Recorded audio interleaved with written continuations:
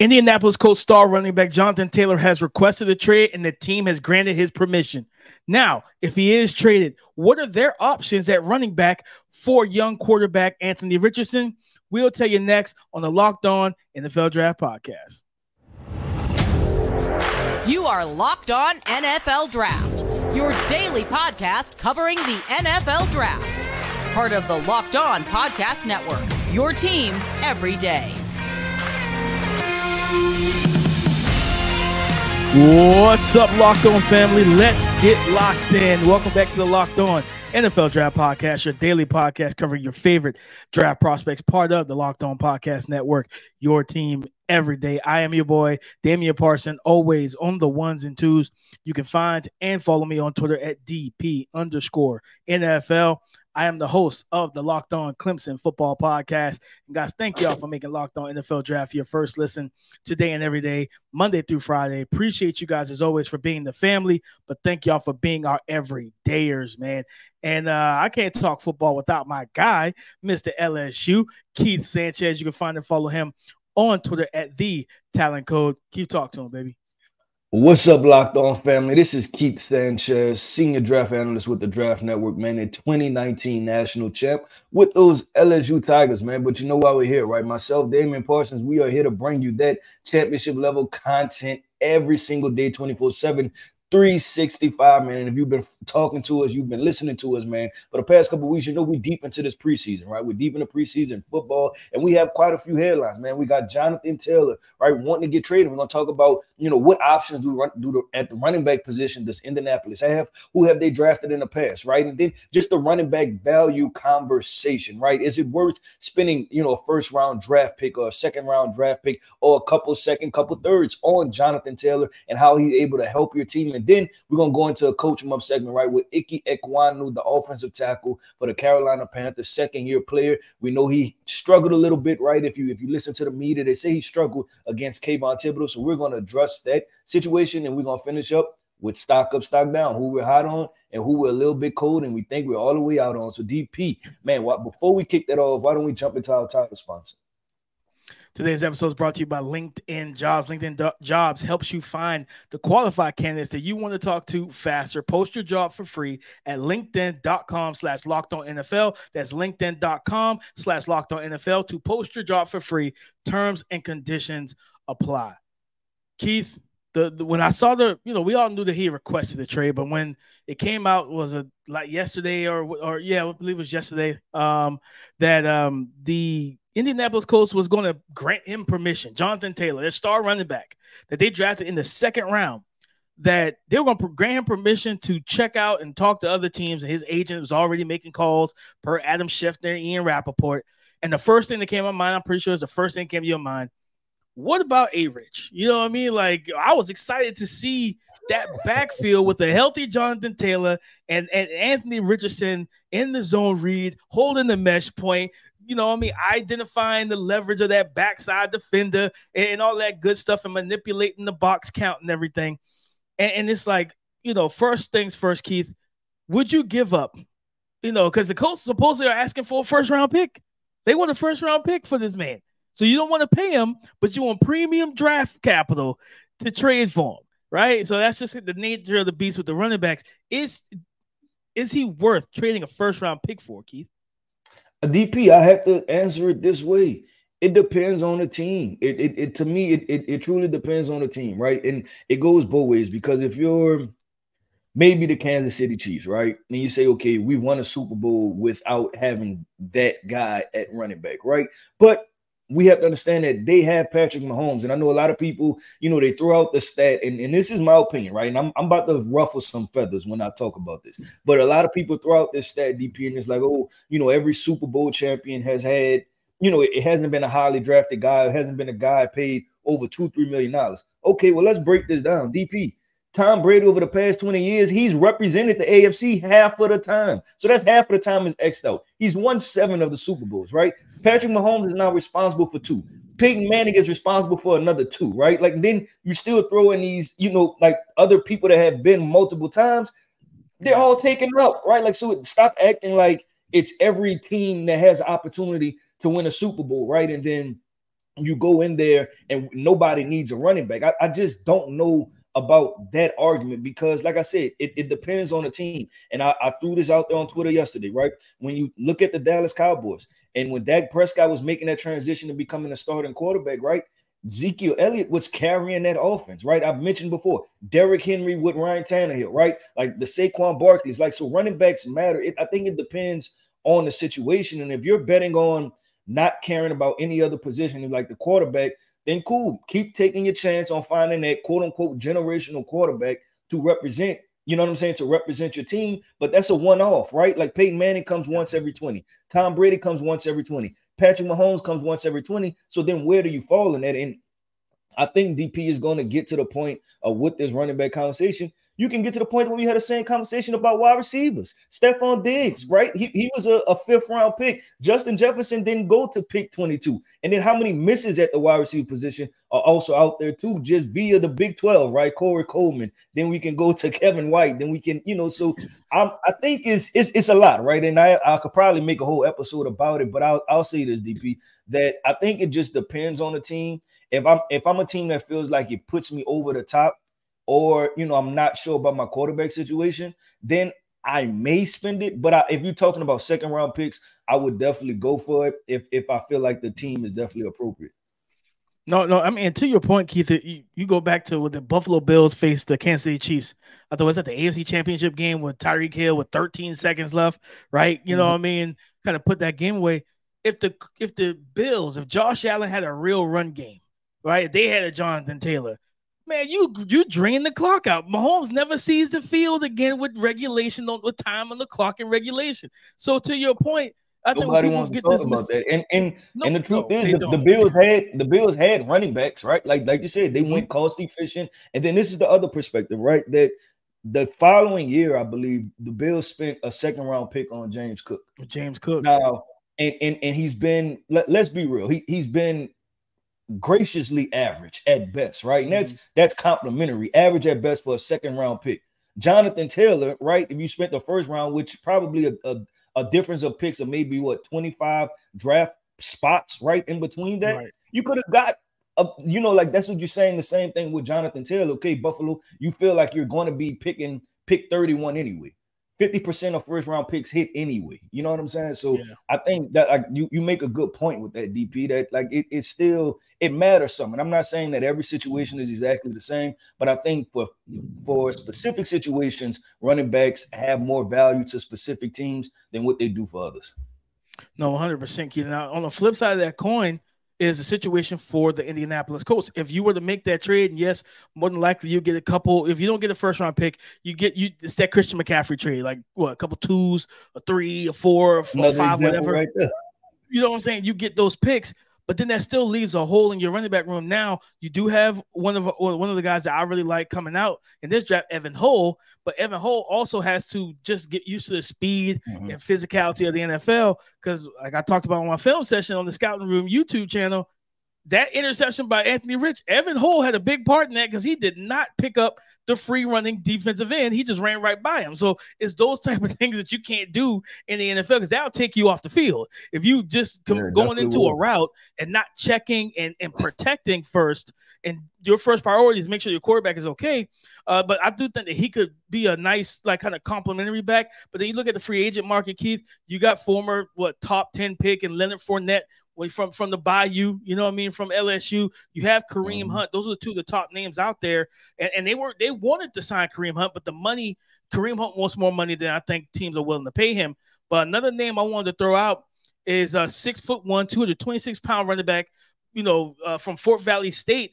Uh, you know, he's he was a free agent signing uh, for the Green Bay Packers, Emmanuel Wilson. This is a young man in between two preseason games, Keith, for the Green Bay Packers. 21 carries, 174 rush yards, 8.3 yards per, and two touchdowns, with his longest run being an 80 yard touchdown. He's a scheme versatile guy because they run zone and gap. I think that, you know, if you want to go cost efficient and get yourself somebody with some juice, but also some some some size, some NFL uh, NFL body type. I think Emmanuel Wilson because I don't expect him to get much burn with AJ Dillon and um and, and Aaron Jones in in Green Bay. So I, you, you send over a seven round pick and try and snatch him up before they cut him. I think that's a good. I think that's a good investment. Yeah, DP, and I'll, I'll, add on another name to that. Right, you're talking about running back depth. You know, you could potentially talk about Israel Abanikanda, right, and then also the Baltimore Ravens. They have a stable of running backs uh, sitting over there with, with you know with veteran Melvin Gordon. Then they still have J.K. Dobbins. Um, and and what it, it's like five. They're going like five running backs deep. Gus Edwards so, and Justice yeah, Hill Gus, and all those guys. Yeah, it, they, they have a lot of running backs, and I doubt they keep five guys, you know, even with them wanting to potentially keep uh record, right? So they're, they're going to have to figure that thing out. So yeah, I, I, think there will be some running backs on the move to help them. I just like you said, my initial thought was I thought him and A Rich were going to be together, right? And and you know, A Rich was going to have a you know a dynamic running back to kind of lean on.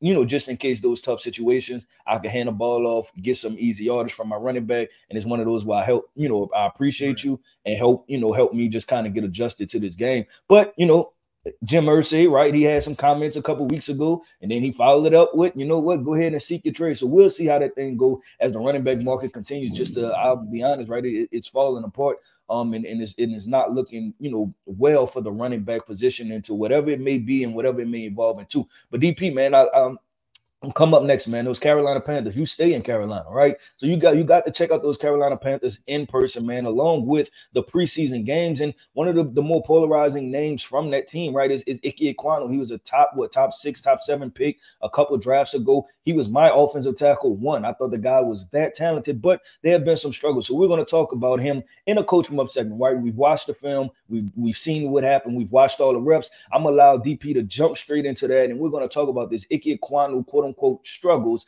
and how do you fix them in our coach them up segment. Guys, trying to find pants and or shorts that fit well, they're versatile, comfortable, and flexible is not easy. I can tell you from personal experience, but let me introduce you to Bird Dog. Bird Dogs make me look good, so they're going to make you look good as well.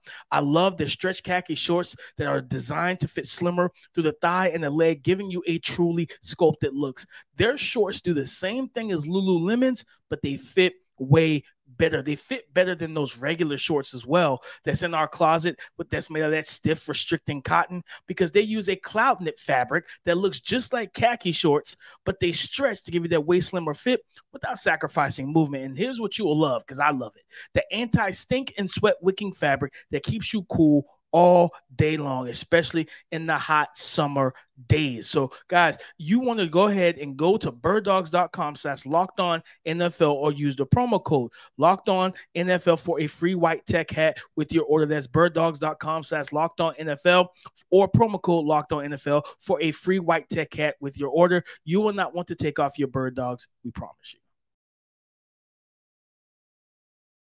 Frank Reich you know, it's time to coach him up, baby. We got Ike Ekwonu, your franchise, hopefully your franchise left tackle that that was selected, you know, a year before you got there.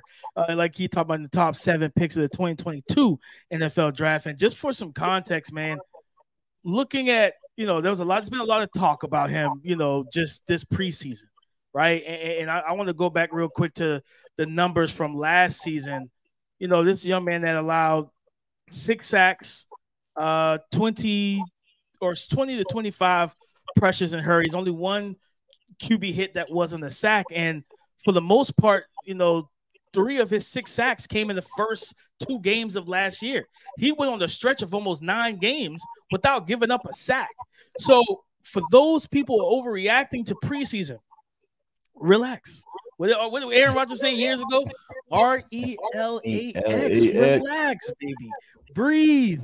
But I'll tell you this in terms of coaching him up, man, Ike is exactly what we thought he was. He's a dominant run blocker, physical, strong, everything. Brian Burns at camp last year talked about it. You're not go, you're not running through Ike. It's just not going to happen. You got to run around him. You got to change directions on him, be able to bend and all that type of stuff, and pass protection. So in the run game, he's fine. I don't see any issues there.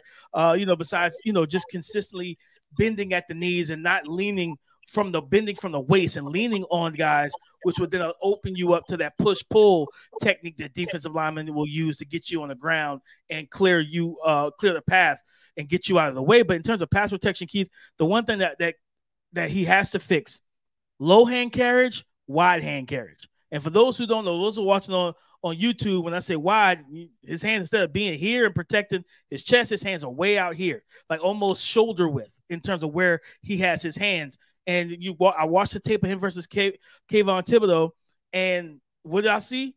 Wide hands. Kayvon's the first one to make contact, and his hands are right in the chest plate of Icky. So he's got full control of the movement and core of said offensive tackle. So he's got to mm-hmm. protect his chest. He's patient. He's not like oversetting like he used to, uh, you know, early on last year, like trying to beat guys to the arc and stuff. He's patient in his drop now, Keith.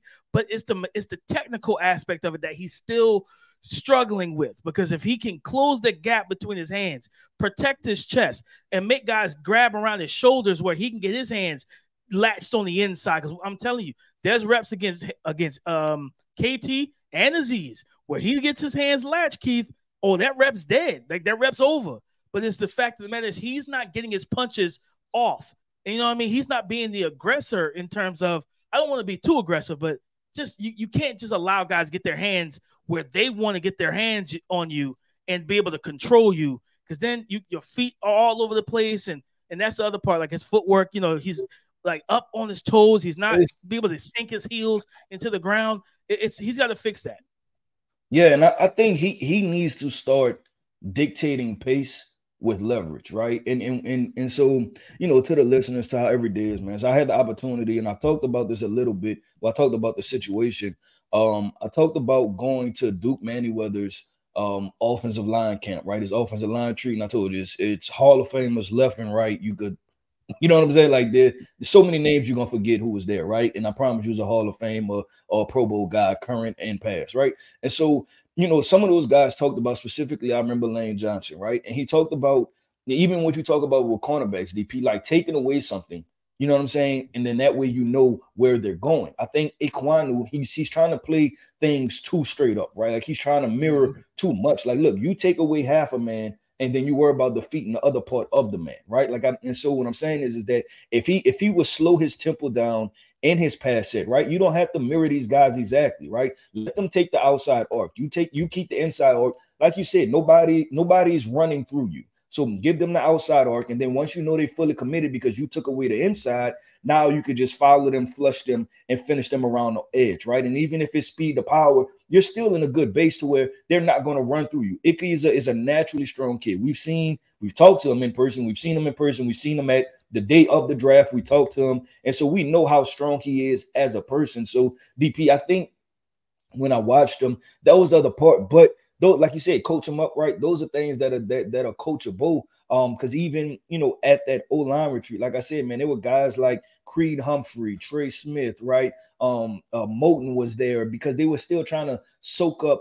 Um, I guess you could call it game, right? Soaking up game and soaking up how to play the game of football from these some from some of these veterans. And thing is this, DP, that while there, there was no blanket statement on how to pass protect, right? And I think that's what Icky has to understand that there's no just one way how to do this. Like you develop your craft in the very best. Because I even think about a guy like Joe Thomas, right? And you watch how he went about it, and he made he forced the guys through him, but it was like he was almost bent backwards, right? Like like even when he get those those those um those speeds of powers, and he would just constantly collapse in the pocket but he just held on, right? And his upper body was so flexible. But that's how Joe Thomas went about it, right? David Bakhtiari goes about it a totally different way. So Laremy Tunsil nice. is another guy that does it a different way. So he just kind of has to figure out his, his, his craft, and I think he'll benefit from uh, working with some of these veteran guys. But I, am expecting a, a, good year from him still. I do think some of those reps against KT was overblown. I think one of them was something about like just a straight sack. It was a matter of him deciding, and that's the thing. While we, you know, have, do I have experience coaching? Yes. Can I be extremely critical of every single thing? Yes. But the people that know, even when you listen to JT O'Sullivan, right? Sometimes he talks about I don't know what their pass what, what their pass protection rules are, right? And if you watch right. that play, if I'm not forgetting, DP, the linebacker also blitzed too, right? He had a linebacker come in the B gap, and then he had K- KT coming would I guess technically be the C gap, right? And so sometimes you're told you take away the closest threat right? So that's why he kind of mm-hmm. punched KT a little bit, and then he tried to go to the running back because that's the closest direct path towards the quarterback. No, that that's exactly what happened, man. And, and it's just, but Keith, and, and that's even just call, that's communication between him and the right guard. I mean, yeah, yeah him and the left guard. I'm sorry. It's just mm-hmm. communication. Mm-hmm. Like, hey, you know, he's coming inside. You know, you you know, he, he's attacking the, the B gap. You take him, and, and it's that's good defense too. Because if the defensive tackle slants towards the left guard, the left guard now has a threat on the inside of him and on the, his outside shoulder. So they, they got to communicate on how they're going to handle that. But then when they, when the Giants threw twists and stunts at him, Icky picked it up. You know what I mean? They tried to run around the arc, Icky picked it up. He was able to anchor and do a good job. And and and you know Bryce Young's got to help him out too by not sliding over towards him and, and kind of helping out leverage him at times. You know when he does protect the outside gap, you know what I mean? So it was a it was a, a, a variety of things that went wrong. But like I said, he started off with three sacks in the first two games last year, and then he nearly pitched a mm. shutout for like seven to eight straight. So yep. at the end of the day, the end is the end is not near, guys. The end is not near. Let this young man get into the regular season, and let's everything right now for your team is a work in progress. Icky Ekwonu is going to be fine. There we go. Icky Ekwonu is going to be fine. You heard it from DP, man. He studied him. He said Icky Ekwonu is going to be fine. Just coach him up, right? That's what we're telling the coaches. Get your hands on him, coach him up, coach the details, and we think everything is going to be okay. Icky Ekwonu, you know, I'll even say stock is still up, right? It's still all the way up there. But DP, I kind of hinted at it, right? Stock up we're going with our stock up, stock down segment, man. We had we had some really intriguing performances from this past, you know, preseason week, and then we're heading into next week, right? We're heading into week three of this. So we're gonna talk about a couple guys, man, that we kind of stock up or we kind of stock down on that we don't want any parts of anymore. So we're gonna continue to talk about this conversation coming up next. Stock up, stock down. These days, every new potential hire can feel like a high stakes wager for your small business. You want to be 100% certain that you have access to the best qualified candidates available. That's why you have to check out LinkedIn Jobs. LinkedIn Jobs helps you find the right people for your team faster and for free.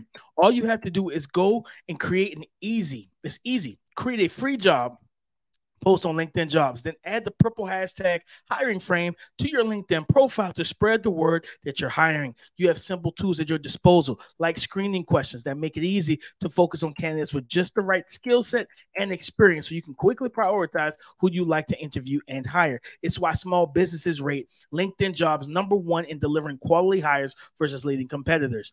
Guys, LinkedIn jobs helps you find the qualified candidates that you want to talk to faster. Just post your job for free at at linkedin.com slash locked on NFL. That's linkedin.com slash locked on NFL to post your job for free. Terms and conditions apply. The stock market is open, Keith, and uh, I, am ready to buy. Well, you know what? I would say I already had stock in this guy because I feel like I was the only one that talked about him coming into the 2023 NFL draft. That was Wisconsin edge rusher Nick Herbig. And, and I mm. remember putting out clips on Twitter. I was like, listen, man, I, I, didn't know what to do with him. He he waited at two. He was at he played like two twenty seven at Wisconsin. He was a full time edge rusher, and I was like, I don't see this happening in the NFL.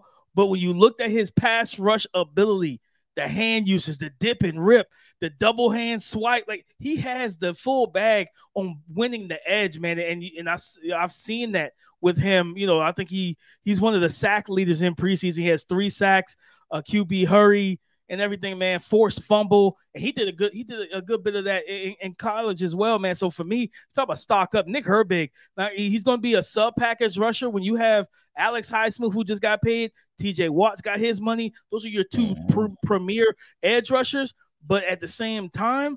Now it's going to be like we, you know, I always, you know, I always dip my toe in that, you know, you know, that create that defensive coordinator bag from time to time, Keith. And I, I think that you, you got to figure out which one of those guys can rush a little bit inside. Because if you can figure out which one of those guys can truly rush and, and slant into gaps on the interior from the edge spot, then you could put Nick Herbig out there with both of them and Cam Heyward.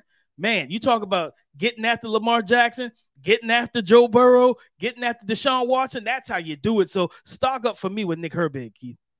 Yeah, and the Steelers, man, don't they have a weird way of just kind of finding success and then dipping back into like that situation. So TJ Watt was 200 and what you know, 35, 240 pounds. Now he, you know, he's probably somewhere around 245-ish, you know, any given day, depending on how he works out and things like that. And then you go find Nick Herbert, another, you know, flexible outside linebacker that people overlooked. And, you know, then they're gonna, you know, develop him, get the most out of him, man. So I I, I agree that that I, that was a good find. That and matter of fact, DP, I'm right with you. Stock up, that was a good call. DP, we just had a game, right? We had this, we had the Ravens and we had the um the commanders and I'm, I'm gonna go with two obvious names, but I'm like, you know, when it's a good company, you just invest more money into it, right? And I have two players, Zay Flowers, right? Mm-hmm. I had a first round grade on him. I'm all in. I'm throwing even more money at it, DP. I'm, I'm stock even more up, man. Just because that guy electricity, right? Like just the the elusive elusiveness that he has in the open field, ability to make people miss, man. Just and I think this is what's going to happen that being in this offense and playing with Lamar Jackson, there are going to be some freestyle opportunities to where the defense is going to break down.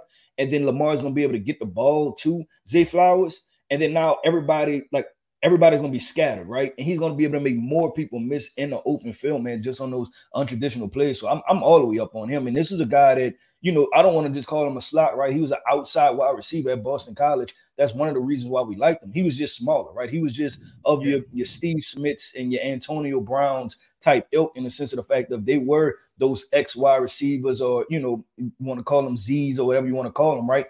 On the outside, they just can get the job done. They were just a little bit smaller than the other guy, DP. And I know I'm not big on this, but it, it was just the intensity that I seen also Emmanuel Forbes, right? Stepping up and making that tackle, man. Um, what that was, I think that was fourth down, I believe. He came up and, and, and yeah, blew the, so. was it fourth down? I think it was fourth down and came up, first of all, beat Daniel Faalele, who probably has 200 pounds on him, literally, it's 200 pounds bigger than him. Um, beat him across right. face, beat him to the spot to be fearless to do that, and then come and make the solid tackle. That's what I say, man. Tackling, I don't like to make a huge deal out of it because most of the times, DP, it's a want to, man. You got to want to yeah. do it, right? And Emmanuel Forbes, as a young guy, 160 pounds, um, he wants to do it. And I love it. I love it for the Commanders franchise. I love it for this defense. I love it for what he could bring to just uh, the, the cornerback position in the future. No, 100% kid. I like those. Uh, for me, uh, the next name I have is Austin Watkins, the wide receiver. Um, you know, out of out of UAB for the for the Cleveland Browns. In, in three, he, he played you know Hall of Fame game. Then you know week one of preseason, week two, you know two catches, thirty five yards, and, a touchdown um, in the Hall of Fame game. Uh, you know the next week against Washington, eight targets, six receptions, seventy one yards. Then last week against the Philadelphia Eagles, fourteen targets, seven receptions, one hundred and thirty nine yards, and a touchdown. And this is a young man that, you know, in terms of size, 6'3, 210, he looks to have that good speed along down the field to average 15 to almost 20 yards per catch. And for the Cleveland Browns, you know, it's just one of those situations where you say, man, the rich gets richer in terms of what they have at receiver right now. Because if this young man makes the team, like you have yourself a wide receiver four or five that you can bring in to take the top off the defense. That you know, especially with I think I'm not sure I, can't remember if they I don't think they paid Donovan Peoples-Jones yet, but at the end of the day, like you think about like just from a contract standpoint, if DPJ wants to price himself out of Cleveland, you got a guy that has a similar size and build, might be a little faster, might be the same type of athleticism that can win and pair well with Elijah Moore and Amari Cooper. So I wanted to give a, a, a good shout out to him, man, because he's been balling. Keith, he's really been out there putting in work, man.